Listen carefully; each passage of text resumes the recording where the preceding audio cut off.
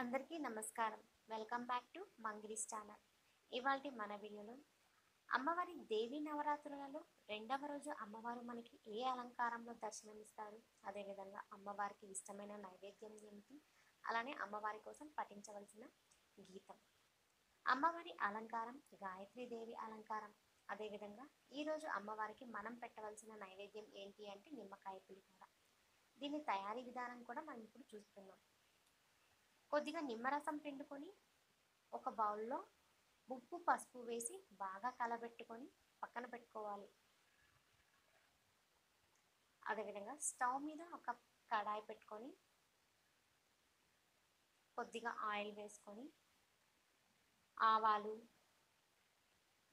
జీలకర్ర మినప్పప్పు పచ్చిశనగపప్పు ఎండుమిర్చి ముక్కలు కరివేపాకు ఇవన్నీ వేసుకున్న తర్వాత బాగా కలబెట్టుకొని ఇంగువ కొద్దిగా వేసుకోవాలి.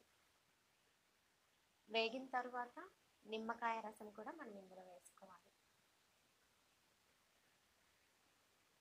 కొద్దిసేపటికి చల్లార్చి పెట్టుకున్న అన్నంని కూడా మనం ఇందులో వేసి కలుపుకున్నట్లయితే అమ్మవారి నైవేద్యం కోసం నిమ్మకాయ పులిహోర తయారవుతుంది.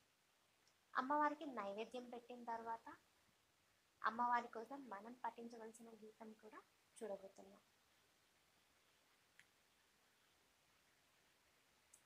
జయ జయ జన పామగాన ప్రియ గాయత్రి సర్వసిద్ధిదాయకం గాయత్రీ నామం కీర్తి కాంతి ఒసగును గాయత్రీ దానం మానవ బాధలను తొలగించు గాయత్రీ రూపం.